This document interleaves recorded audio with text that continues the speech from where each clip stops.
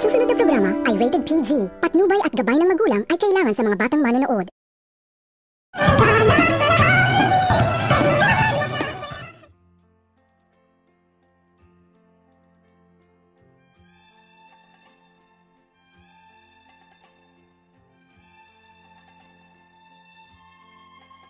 Pagkatapos nito mangangako ni Dukim kay Linit.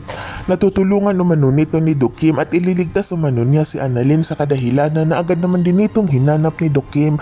Itong si Annalyn at agad naman din itong ginawa ni Dukim ang lahat-lahat upang matunto ni Dukim itong si Annalyn at dito labis-labis naman din itong nagpapasalamat si Dukim sa tao na kanyang kinuha upang mangmangan upang hanapin si, si Doktora Annalyn upang hanapin si Dr. Carlos dahil alam umano nito ni Dukim na nandoon umano sa mga kamay ni Dr. Carlos itong si Annalyn kung kaya't labis-labis naman din itong ikinatuwa ni Doc Kim nang tumawag sa kanya ang private investigator na kanyang inutusan na hanapin si Dr. Carlos at agad naman din itong sinabi sa private investigator kung saan ito nakita si Dr. Carlos kung kaya't agad naman din itong pinuntahan ni Doc Kim ang sinabi ng private na ang sinabi ng kanyang private investigator at dito hindi ito nagdadalawang isip itong si Doc Kim na pumasok sa loob at laking gulat naman din nito ni Dr. Carlos nang kanyang makikita itong si Doc Kim at agad naman din itong sinabihan ni Doc Kim itong si Dr. Carlos kung bakit umano nito dinukot ni Dr. Carlos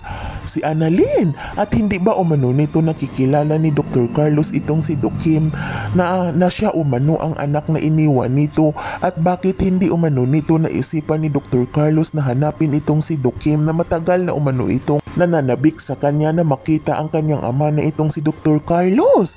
Sa kadahilanan na agad naman din nitong sinabihan ni Dr. Carlos ang lalaki na nasa kanyang harapan na nagpapanggap lamang umano itong anak ngunit wala naman umanong anak na maaalala itong si Dr. Carlos dahil ang tanging anak lamang umano niya ay dalawa lang umano at ito lamang lamang umanong si Harry at si Zoe.